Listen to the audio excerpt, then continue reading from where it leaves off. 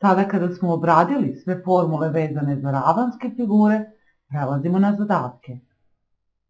U prvom zadatku date su dužine stranica trougla 10 cm, 17 cm i 21 cm.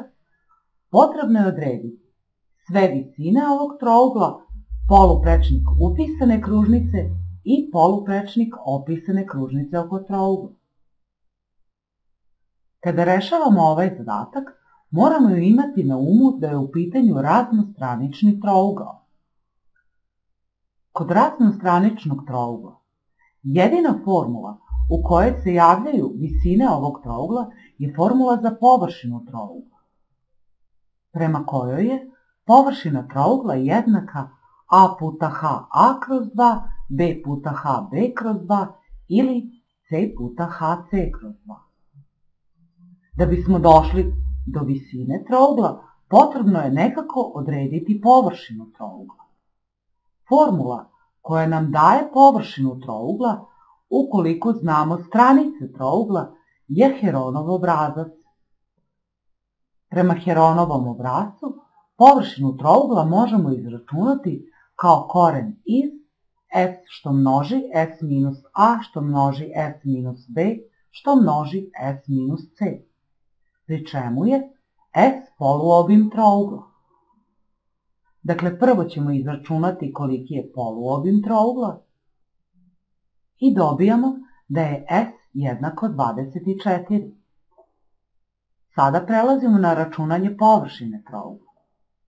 Površina će biti jednaka, koren iz, a pod korenom ćemo imati 24, što množi 24 minus 10, odnosno 14, što množi 24 minus 17, odnosno 7, što množi 24 minus 21, odnosno 3.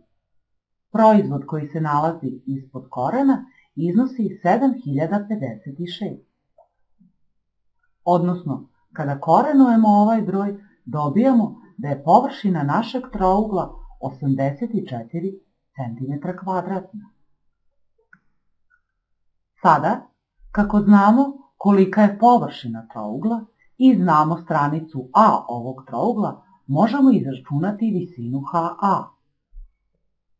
Uvrštavamo poznate podatke, vidimo da možemo skratiti 10 i 2, tada dole dobijemo 1, a gore 5, Dakle, HA ćemo dobiti kada 84 podelimo sa 5. Dobijamo da je HA jednako 16,8. Izračunavajući na isti način dobijamo da je HB jednako 9,88 cm, a HC 8 cm.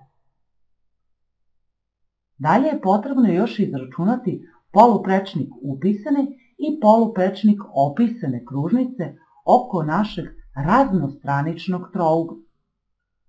Jedina formula u kojoj se javlja poluprečnik upisane kružnice u raznostranični trougao je P je jednako R puta S. Ukoliko uvrstimo podatke, imat ćemo da je 84 jednako R što množi 24. Dakle, R ćemo dobiti kada 84 podelimo sa 24. Izračunavanjem dobijemo da je R jednako 3,5 cm. Da bismo izračunali poluprečnik kružnice opisane, oko ovog trougla koristimo formulu za izračunavanje površine prema kojoj je površina jednaka a puta b puta c kroz 4r. Uvrštavajući podatke, odnosno površinu a, b i c, dobijamo da je r jednako 10,625 cm. U narednom zadatku da nam je površina jednakokrakog trapeza i njegova visina, zatim i razlika osnovica, potrebno je odrediti dužine osnovice, a zatim odrediti i dužine dijagonale.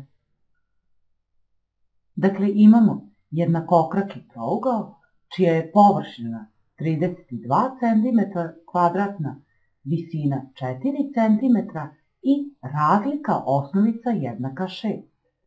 Pođimo od površine. Znamo da je površina trapeza jednaka zbiru osnovica kroz 2 puta h.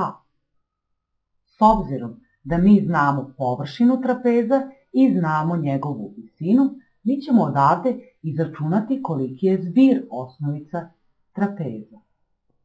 Dakle, imamo da je 32 jednako a plus b kroz 2 puta 4. Možemo skratiti 2 i 4, tada nam dole ostaje 1, a gore 2, pa će odavde a plus b biti jednako 32 podeljeno sa 2, odnosno 16. S druge strane, mi znamo da je razlika osnovica jednaka 6, odnosno a minus b jednako je 6. Sada, rešavajući ovaj sistem, doći ćemo do dužine osnovice. Ukoliko saberemo ove dve jednačine, dobit ćemo da je 2a jednako 22. Jednu jednačinu prepisujemo i dobijamo, ako je 2a 22, tada je a jednako 11. I ukoliko to uvrstimo u ovu drugu jednačinu, dobit ćemo da je tada b jednako 5 cm. Još je potrebno da odredimo i dijagonalu trapeza. Uočit ćemo trougao koji se nalazi ispod dijagonale trapeza, odnosno između visine i dijagonale trapeza. Ovo je pravougli trougao, pa na njemu možemo primeniti Pitagorinu teoremu. Međutim, potrebno je uočiti da ova horizontalna kateta pravouglog trougla ne iznosi a, već nju dobijamo kada od a oduzmemo x, pri čemu je x jednako a minus b kroz 2. Mi znamo da je a minus b jednako 6, pa će x biti jednako 3. Tada je a minus x jednako 11 minus 3, odnosno 8 cm. Sada kada za naš pravougli trougao znamo katete, možemo izračunati hipotenuzu. Prema Pitagorinoj teoremi je d na kvadrat jednako h na kvadrat plus a minus x na kvadrat. Odnosno, d na kvadrat će biti jednako, znamo da je h jednako 4, dakle h na kvadrat je 16, plus a minus x iznosi 8, pa je a minus x na kvadrat jednako 64. Odavde dobijemo da je d na kvadrat jednako 80, odnosno d je jednako koren iz 80. Ovo možemo delimično korenovati, ukoliko 80 zapišemo kao 16 puta 5, dobijamo da je d tada jednako 4 korena iz 5.